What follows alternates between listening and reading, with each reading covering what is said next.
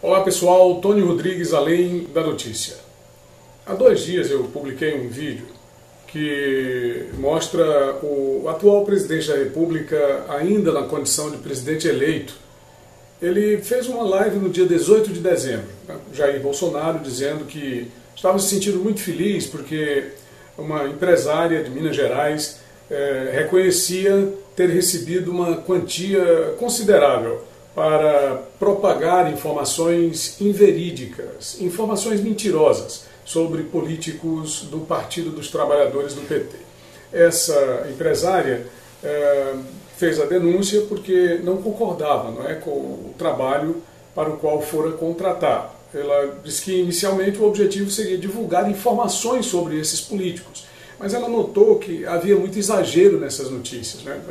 E o, o que realmente foi o estopim, o ponto de partida para a sua suspeita, foi o que diz respeito ao governador do estado do Piauí, porque ela considerou extremamente exagerado o número de informações e, e, e o que se continha dentro daquelas informações. Né? Quer dizer, é, são fake news, quer dizer, informação mentirosa, notícia mentirosa.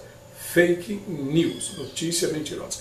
E aí isso gerou uma denúncia do Ministério Público Federal e, evidentemente, um processo na Justiça Federal. As três figuras que respondem a esse processo, um candidato a senador, que era companheiro de chapa da ex-presidente Dilma Rousseff, a deputada federal Gleisi Hoffmann e o governador do Piauí, Wellington Dias.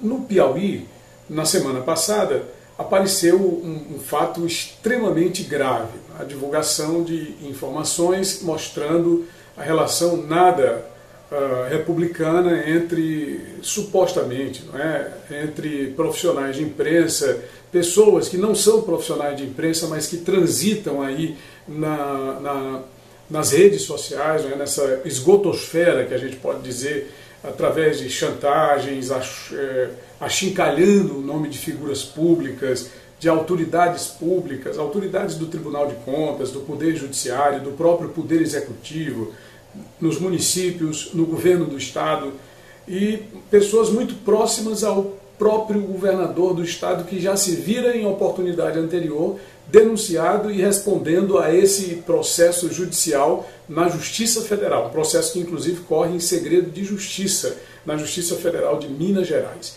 De modo que o próprio governador disse: olha, vamos fazer uma investigação na polícia. Acontece que a polícia, que o governador. Uh, recorreu inicialmente, aliás, o secretário de comunicação do governo, o senhor João Rodrigues, recorreu à Polícia Civil do Piauí.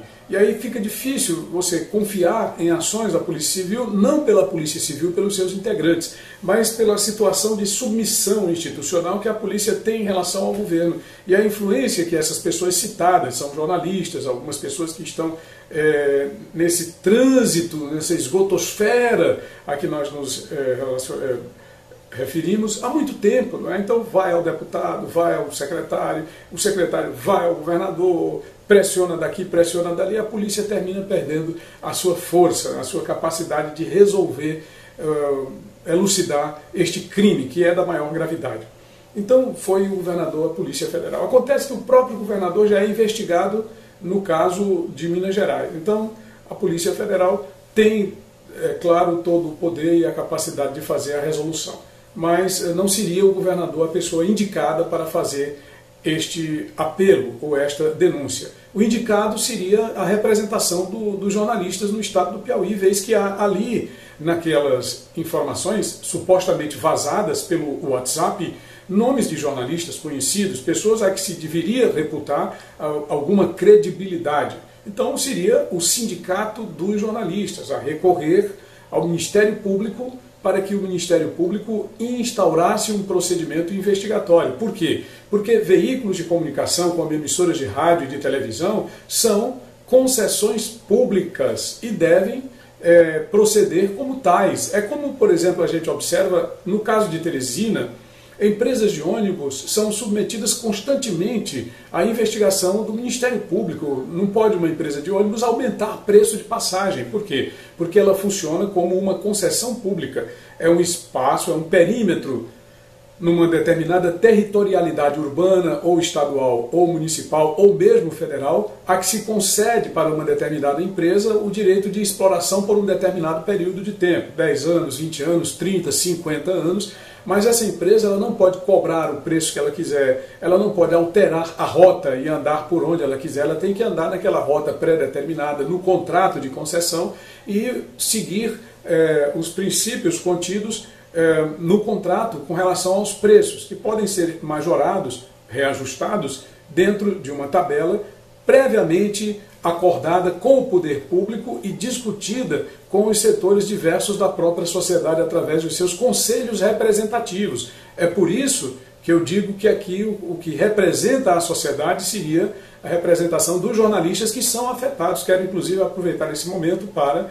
é, apresentar aqui a, a solidariedade aos colegas profissionais que são citados nesse caso, sem fazer nenhum julgamento, porque eu vi que alguns já o fizeram, né, descaracterizando o fato, ah, porque são falsas. Não se pode dizer que são falsas. A gente tem que exigir a verdade, porque se de um lado existe a concessão pública das emissoras de televisão e rádio, de outro lado existe o próprio governo do Estado que é acusado de pagar recursos públicos para que jornalistas engajem no seu projeto perverso, né, projeto de perversão e de poder em relação à própria sociedade, para difundir, divulgando informações mentirosas, um projeto de poder que não nos interessa objetivamente. Por quê? Exatamente porque existe uma coisa chamada concessão pública. A concessão pública é um bem pertencente ao governo federal, ao governo do estado, ao governo municipal, que é cedido para exploração pela iniciativa privada durante um determinado período de tempo. Mas é preciso que haja prerrogativas, é preciso que haja critérios sobre essa exploração. Caso contrário, aí o poder público faria é, ao seu bel prazer, é, do jeito que bem entende. É por isso, por exemplo, que o Ministério Público faz questão de fiscalizar e manter uma atuação sempre presente sobre é, essa história dos ônibus em Teresina. Né? Você sempre vê a atuação do Ministério Público, porque senão, de repente, o empresariado poderia é, colocar o preço da passagem que bem entendesse. Isso não apenas em Teresina, mas em qualquer das capitais ou nos estados no tocante aos ônibus intermunicipais. Quer dizer, se não houver a ação do Ministério Público, se não houver uma agência, no caso reguladora, ou conselhos municipais, a presença do poder público fiscalizando, então aí você fica sem qualquer controle. Imagine uma pessoa que resida em Piripiri, que precisa se deslocar para Teresina. Ela hoje paga uma passagem que tem um valor estipulado numa é, determinação legal do poder público, fiscalizada pelo Ministério Público com o apoio de conselhos populares. Quer dizer, existe toda uma rede de conselhos e de poder público para fazer essa fiscalização. O mesmo deve acontecer com os veículos de comunicação.